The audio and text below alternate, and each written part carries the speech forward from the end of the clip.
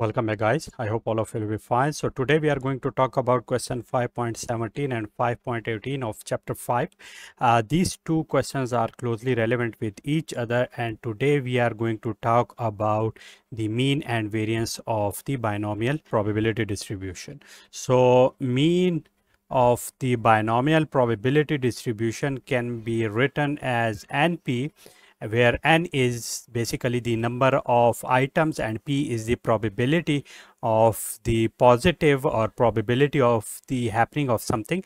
Similarly, variance of the binomial probability distribution can be written as np 1 minus p okay as 1 minus p is q so therefore it would be np q okay it is represented as sigma square and this is what this is mu okay? So this is what we have to utilize today. And in question 5.17 we have to see that if x represents the number of people in exercise 5.13 who believe that antidepressant do not cure but only cover up the real problem find the mean and variance of x when five people are selected at random okay? So here in question 5.17 okay let me write here the given data with it here the number of items or number of people are basically 5 and what do we have to find out? We have to find out the mean and b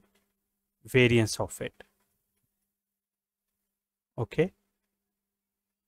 As we know here that mean is equal to np where variance is npq okay. We don't know the value of p and that is already given in question 5.13 let us go to question 5.13 now.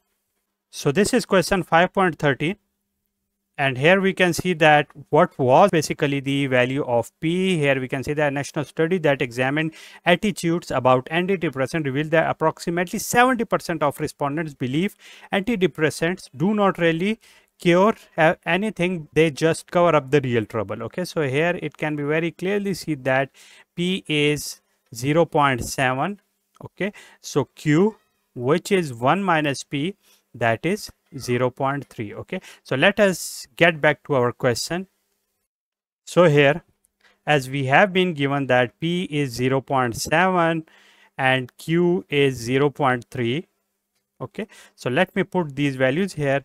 This n is 5 and p is 0 0.7 so it would be 3.5 okay also here putting the values here n is 5 p is 0 0.7 okay and q is 0 0.3 okay so it will be something like uh, 1 point something or this would be sigma square okay? Similarly if you want to find out the standard deviation which is sigma so you have to do what? You have to take the square root of this sigma okay? So this is what? This is the standard deviation and we have found out the values by them and these are basically the answers of our questions. This is 3.5 and this is here. You have to calculate it and then you will get the answer here.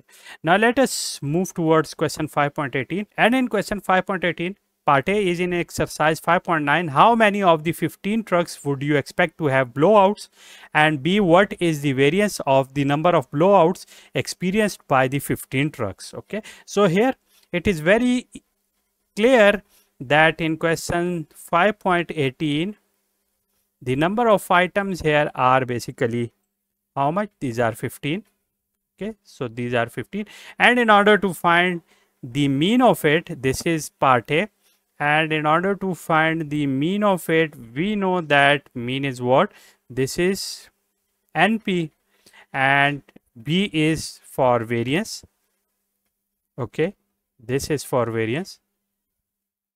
And the formula for variance will remain the same and that is npq okay in question 5.9, let us see the value of P which is here not known. So let us move to question 5.9. So this is question 5.9 and here we can see that in testing a certain kind of truck tire over rushed terrain, it is found that 25%. Okay, so P is here what? This is 0.25 and Q is how much? That would be 1 minus P. So 1 minus P is 0.25 0.75 okay so these values are known here. So let us move back to our question. So p was 0.25 and let me put these values here. So it would be 15 multiplied by let me change the color here. So it would be what? Np so np is n is 15 multiplied by 0.25 and here the answer of it will be here. Similarly for the variance of it which is sigma square what i will get here n is 15 p is 0.25 while q is how much? We have also found out q and that was 0.75 and multiplying with it 0.75 as well okay? So this is what this is basically the solution of question 5.17 and 5.18 which are basically related with the mean and variance of the binomial probability distribution okay? So uh, that's it for today in which we have discussed the meaning and uh, solution of the questions which are related to mean and variance of the binomial distribution. See you soon